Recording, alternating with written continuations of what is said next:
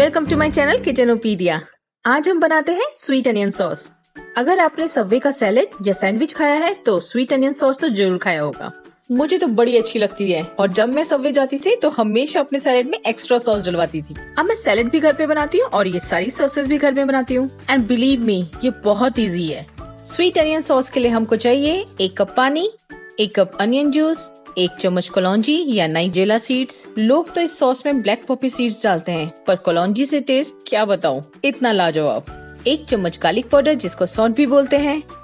एक चम्मच नमक वन थर्ड कप चीनी, एक बड़ी चम्मच या 15 एम एल व्हाइट विनेगर और दो चम्मच कॉर्न स्टार्च या कॉर्नफ्लावर सबसे पहले हम अनियन का जूस निकाल लेते हैं। एक कप के लिए आपको तीन मीडियम साइज़ प्याज लेने होंगे।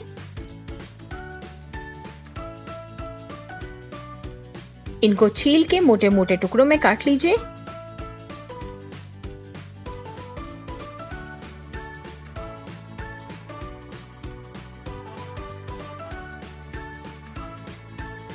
और मिक्सी में पेस्ट बना लीजिए।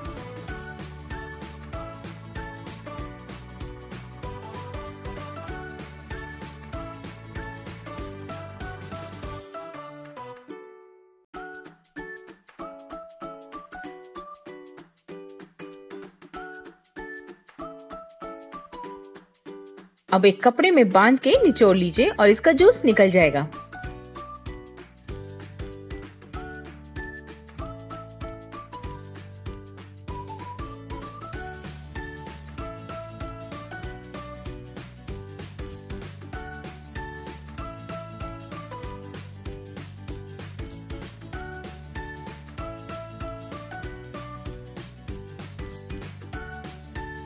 बस, हो गया ये करीब एक कप।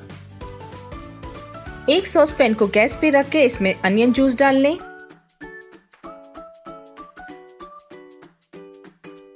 हम तीन चौथाई कप पानी भी डाल लेते हैं। एक चौथाई कप पानी में कॉर्नस्टार्च मिला के हम सॉस में बाद में डालेंगे। अब एक चम्मच कलौजी, एक चम्मच अदरक का पाउडर एक चम्मच नमक और वन थर्ड कप चीनी डाल के थोड़ा चला लेते हैं। बॉईल करते टाइम प्याज की थोड़ी स्मेल तो आएगी बट सॉस के टेस्ट के आगे कुछ नहीं। अब इसमें एक बड़ा चम्मच व्हाइट विनेगर डाल लें और थोड़ा चला लें। चलिए, अब हम इसमें कॉर्न स्टार्च मिला लेते हैं।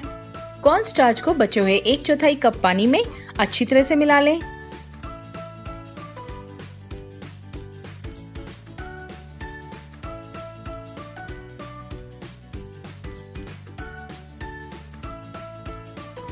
मिलाते ही आप इसको चला लीजिए और अच्छी तरह से उबाल आने दें।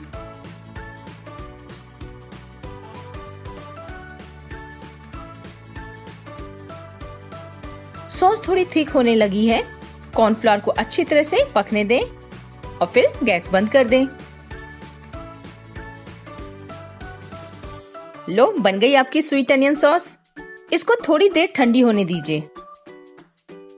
इसको एक बोल में निकाल लीजिए और अपने सैलेड में या सैंडविच के साथ मज़े लीजिए।